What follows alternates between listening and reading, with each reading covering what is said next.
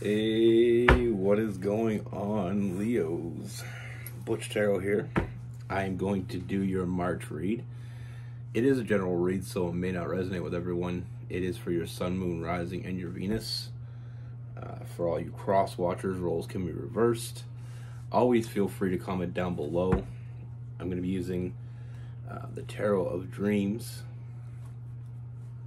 And with all that being said, let's get it. Universe, what is going on for Leos?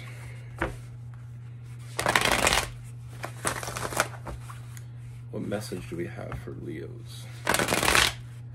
March 2024.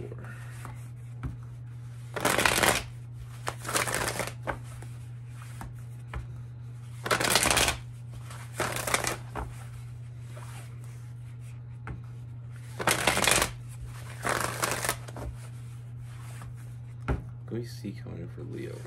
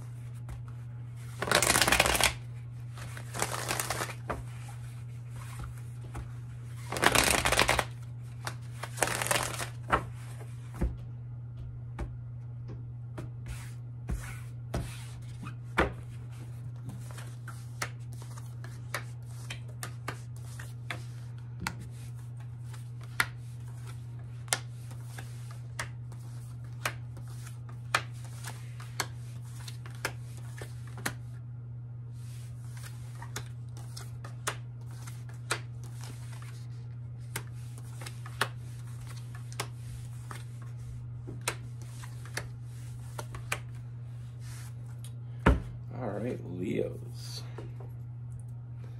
So the first thing that I see, Leo, is I feel like this is, I feel like there's someone that's been on your mind. You know, I, I, I feel like with this person, I feel like you may already have a friendship with this person, an association of some sort with this person. You know, for some of you, it could be someone you work with or, or someone you go to school with but I definitely feel there is a connection that you have with this person. I feel like you do see this person fairly regularly. Um, and I feel like you think about them. You know, and I feel like it's something that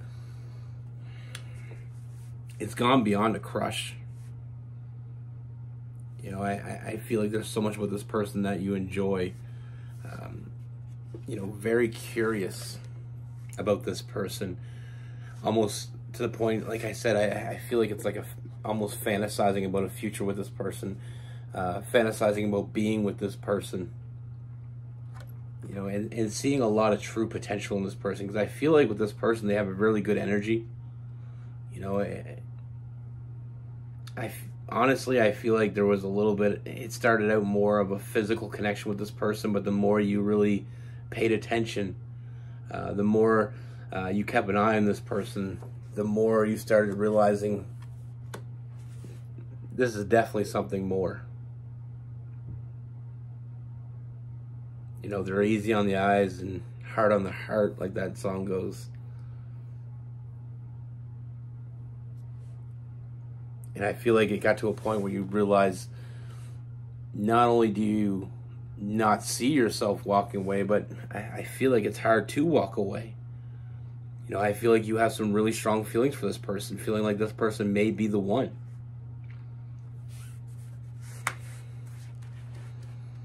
But then we, I feel like there's a little bit of overthinking going on because I feel like you're not really seeing their side of this, um, really not knowing what they want.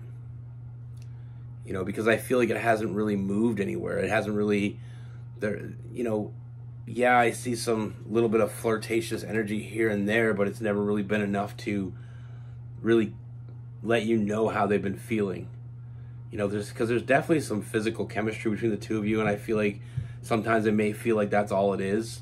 So uh, that's where the overthinking comes in, thinking that maybe that's all the only way they see you. And I, I feel like there is a little bit of fear of taking that next step, fear of, you know, rejection or getting hurt. Um, feel like putting yourself out there and not getting the response that you you thought you would get or you hoped you would get. So it's almost like you're just kind of keeping it to yourself. Now with this person, I feel like you're going to be really surprised here. I feel like I almost know you're going to be surprised. Um, with this person, there's a lot of internal struggle. You know, this person wants to reach out and grab you and hold on to you and not let you go. You know, I, I feel like with this person, what you're feeling may not even compare to what they're feeling. You know, I, I feel like this person kind of puts you on a pedestal, feeling like you may be out of their league. Um, but that doesn't stop them from wanting you. I mean, they, you fantasizing about them, they're fantasizing about you. You know, they're thinking about you and only you. You know, those chance meetings that you have, the chance times that you see this person, uh, those side glances, that's not just them looking at you on the outside. That's them, you know, kind of fantasizing about you on the inside. That's them thinking about you and possible scenarios moving forward. Um, they have a lot to say. They have a lot that they want to say to you. I just feel like, like I said, I feel like they feel a little bit intimidated by you, uh, feeling you may be out of their league. You know, I mean, I, I, I do see this person. Mean, they definitely feel the same way as you do. They know what they want.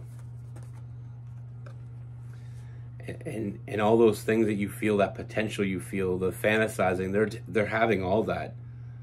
You know, both you want the same thing here. It's just like I said, I I feel like you're not quite what they're used to. You know, I, I feel like they feel like they're they you're on that next level and they're not there yet. Um, again, we have that flirtatious energy back and forth, but um, it's almost like it, it, Sometimes we get it mixed up with thinking that the person just has a flirty personality, not me, not meaning anything by it.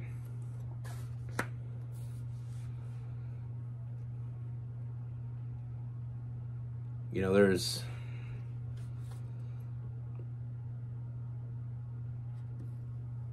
I mean, this person, like you've planned a future with this person, they've planned a future with you. I mean, they want this. Uh, this person knows what they want with that two two of wands. You know, they're emotionally, um, they're emotionally mature. I mean, they're ready for that next step, and you're the person they want to take that next step with. But like I said, I feel like, again, we go back to I feel like they're overthinking. You know, I feel like they're afraid to step up and tell you how they feel because they're afraid that um, how they see you is how it is. You know, they see you as someone that's out of their league. They see you as someone that maybe not that interested. I feel like there's two people here being very quiet when it comes to how they feel. You know, the energy is something that we need to listen to and I feel like neither one of you are really listening to it. You know, there's a lot of energy going on between you, and it's so much more than just a physical thing.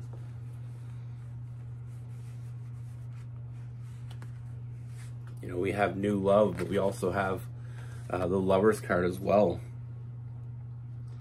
I mean, like I said, this person just wants to reach out and grab you and hold on. And if they knew you'd let them, they would have already done it.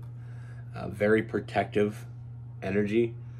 You know, I feel like this person is very defensive of you with other people. You know, I feel like they they really take a they they have your back. You know, really defending you behind your back. Like if anybody were to say anything about you, this person would be the first one to shut that shit down. You know, um, also I feel like they, you know, anytime there has been anybody around you I feel like they get very, almost like a jealousy, but a very quiet jealousy, you know, because there's nothing they can really say. You're not you're, you're not with them. Um, I just feel like they they really don't like other people being around you, and I feel like that's gonna get to the point where that's what's gonna cause the next step to happen. You know, I feel like this person's finally gonna open up to you, and we're gonna have that conversation that much overdue. Because I feel like this has been going on for a while. You know, we have this chemistry that keeps going, it's undeniable. And we can deny it all we want but like i said it's undeniable. It's one of those things that the the more we try to push it down or try to hide it the more it becomes apparent. You know so i do feel like this person is going to reach out to you and i feel like they're going to open up. And i feel like it's going to be very direct you know it's uh it kind of i keep getting that picture of that movie where this guy wanted this girl so bad and then the first kiss, like they banged teeth together because he was so, you know, he, he was so, um, you know, he'd he'd been waiting so long and he just he went after it, and it was it was funny, but it's it's the type of feeling I get here. It's like this person just wanted to be with you. You know, this person wants to be that person that you trust in. You know, they want to build something with you. And I mean, they may not feel like they're worthy of you, but they're sure as hell going to try their hardest to be. You know, I, they, they want to build that foundation. You know, and I feel like together there's a strong, strong energy between the two of you. Um, the two of you coming together, making making something that other people will be jealous of. You know, they don't want to be jealous anymore. They want other people to be jealous of of you. Um, and not that they want that. I just mean like they don't want to be the one jealous. They don't want to be the one on the outside looking in. They don't want someone to come along and see you the way they see you, and and step up before they step up. You know, for one, they don't think anybody can be as good to you as they want to be, or as they could be. And for two, you're all they really want. Like I said, I mean, it, it's just how they how you feel about them times that by two, because that's how I really feel like this is going. You know, like I said, very protective over you, very defensive over you. Um, this is someone that will always have your back. Uh, someone that that appreciates you, and a lot of people say it's not healthy to put your your partner on a pedestal. I disagree to a point. I feel like having respect and admiring your partner, there's nothing wrong with that. You know, thinking they may be a little bit out of your league, there's nothing wrong with that. You know, it's it's for whatever works for you anything can work in any situation as long as it, it works for you. Um, but like I said, I mean, you already make each other happy apart. So imagine what you're going to do together. You know, I see them cups being filled up.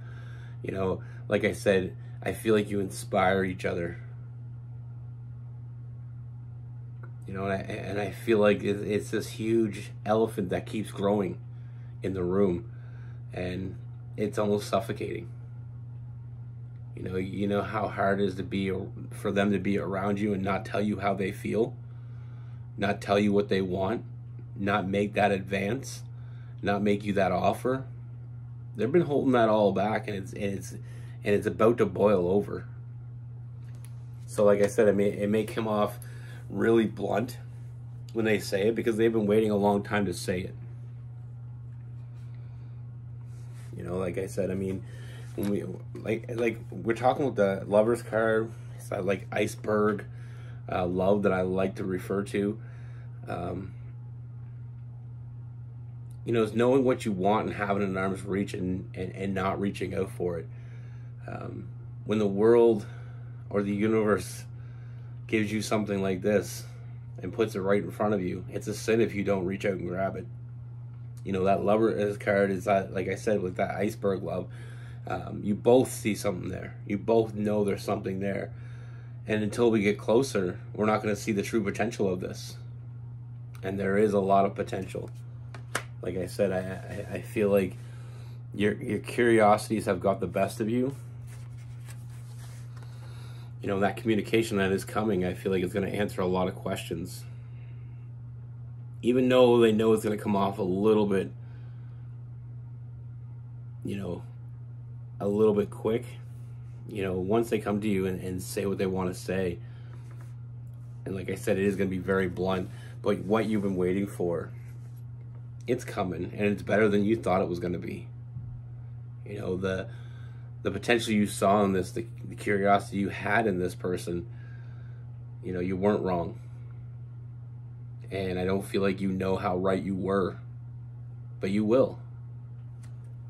You know, once they come towards you and tell you how they feel, uh, once they take the leap of faith, they're all in. You know, it's, uh, it took some time. But once they come towards you, they're all in. And we, we, we begin that new journey together. And like I said, you make each other stronger. You inspire each other. You're there for each other. Uh, very loyal connection, I feel like you're going to have. Very passionate, very loyal, very intimate. You know, you think you're attracted to them now, wait. Because once this goes deep, that attraction just increases. You know, it's a lot of people say like when you're attracted to somebody physically, what a lot of people don't get is it's not all physical. You know, when you're attracted to someone to this point, it's not just physical. It may feel like that way because you don't really know them internally that well yet. But our energies know each other. Our energies draw each other eh, draw each other draw us to each other more than a physical connection does. You know, sometimes we feel like it's just physical, but there's definitely some underlining energy that's going on between you that is much much much deeper than that.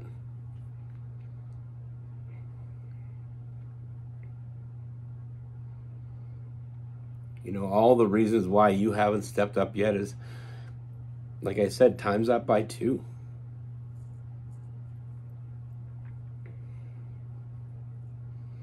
Once we're able to open up to each other, um, you know, you're going to see the true potential here. There's a lot of happiness for the two of you moving forward. You know, like I said, it's not just a physical connection here. That may have been what caught your eye, but it's not what caught your heart. It's not what caught theirs. You know, and, and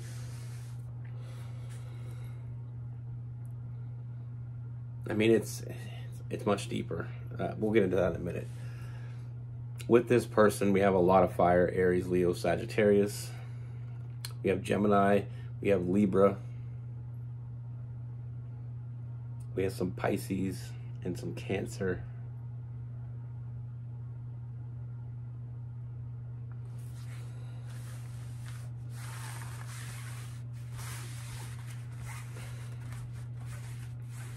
Um, what I was going to say, now that it's story time, is when we have a connection with someone, you know, when you see someone and you're connected to them, you know, have you ever had that person, which I most, I most certainly, I feel like most people have, that person that you were really attracted to, that maybe your friends didn't understand, or maybe other people in your life didn't understand. They're like, I don't see it. Why are you so attracted to this person? It's not the physical that attracts you. It's something in their energy. You know, it's that's why when you ask someone, who do you think is the most attractive person that you know? Most of the time, if they're being honest, most of the time it's going to be something different than everybody else. You know, who you're attracted to is different than someone else because it's not the physical. That's part of it, a very small part. It's the energy. You know, it's um, you can shake a hand with a you can shake hands with a million people. There's to be one that really, you know, a blind test. I'd like to do that sometime, like a like social experiment. You know, you can't see anything with the person but their hand, and you take their hand and shake it, or you hold their hand for a second. And I feel like there's going to be someone that sticks out. Now, that's not physical, it's a physical interaction, but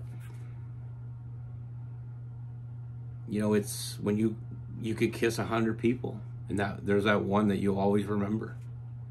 It's not the physical. It's a physical interaction. But you know, like my partner, she, when I kiss her, it's different than I've ever kissed anybody else. It's deeper. You know, when we touch hands, it's it's deeper. It's a connection. It's our energies meeting. And yes, I'm not saying that you sh- that it's not a physical attraction you have toward the person. I'm just saying you can be. I mean, there's a hundred people you can be physically attracted to, probably just in your town.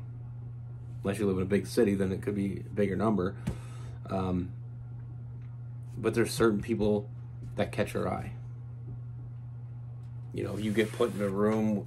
Say you pick out a thousand people that you find physically attractive, and you put them in a room. There's going to be one that stands out. And it's just something that I always thought about for a long time because I, I feel like I always was very interested in energies and what draws our energy to certain people and not to other people. Um, you know, there was. I feel like the first time I thought about it was in high school. There was these two girls that were twins. I was always attracted to one of them. They were identical. I always knew them apart. There was always one, um, Amy and Amanda. And Amy was always different. You know, there's just something different about her, and they're twins. Physically, they looked exactly the same. They even dressed similar. They probably shared clothes. I imagine they would. The same body type. But there's one that I was always, you know, I was always drawn to her. Um, you know, we dated for a little bit, but it never worked out. We were we were different people, and we wanted different things. But it always, from that moment, I feel like that's the first time I really thought about it. Like, how can I be attracted to one twin and not the other? And then I realized it's not about the physical. It's so much more than that. You know, and and energy doesn't even have to be a touch. You know, I feel like you can feel somebody's energy from across the damn room. You know, to be honest with you, especially the stronger the energy, the, the longer the distance you can feel it.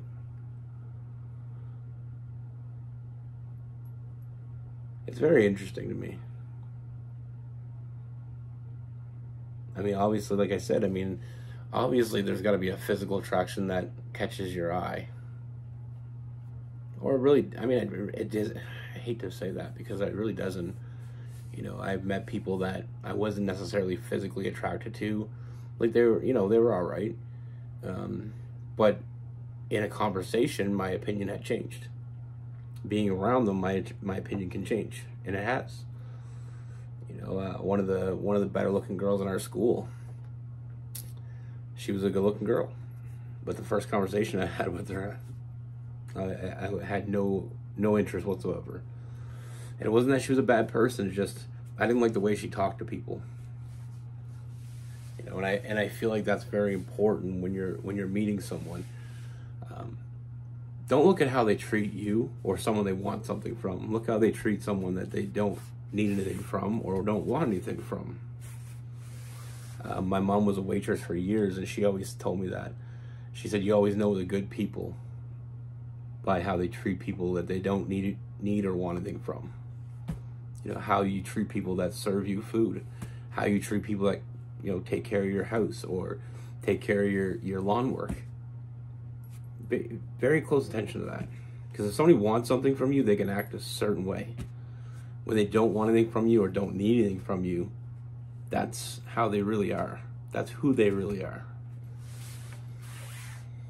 And I and I believe that to an extent. I, I've always like I took a girl on a date um, years ago. We went to a restaurant and we ordered food, and they messed up her order. And I remember she was like really vocal about it, and I was thinking, how unattractive is this? Like you could have just said, you know, you messed up my order. You know, they even offered to replace it.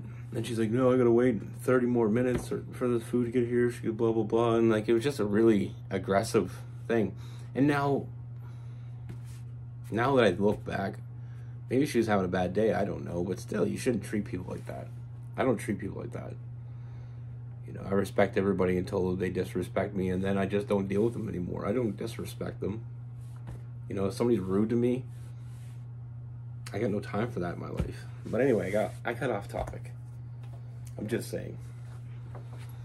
Um, when it comes to you and this person, sometimes, and I've talked about this before, with me, I'm kind of a flirty person, and I don't mean to be, and I don't mean anything by it. But if I find, you know, if I if I like someone, I, I, I find it easy to flirt with them. When I really care about someone, I find it impossible. You know, sometimes the hardest person to to um, approach is the person that you really want. You know, the, the brain and heart work together in a very mysterious way. Um, for instance, like with my partner Rose, uh, when I first met her, she came on to me because she got sick of me waiting for me to come on to her. I really wanted to, but I overthink this. Uh, I over. I was gonna say overthink. I wish that could be a word because then I wouldn't look so stupid when I said it. But uh, I, I I used to overthink it a lot, and I feel like when there's something on the line, it's like betting a dollar compared to betting a thousand dollars. Betting a dollar, like who cares, right? Same as people that you like, but you're not really that interested in. You just find them attractive or whatever. It's easy to go up to them, take your shot. Because if you if you miss, or if you get shot down, oh well. You know, I wasn't that invested. But when it's something that you really want, taking that shot can be the hardest thing. because there's so many things that can go wrong. You can make a bad impression, you can screw it up, and if you screw it up, you lost something that you know was special. Anyway, I feel like I'm not making any damn sense anymore. Um, be good. Take care. Stay safe.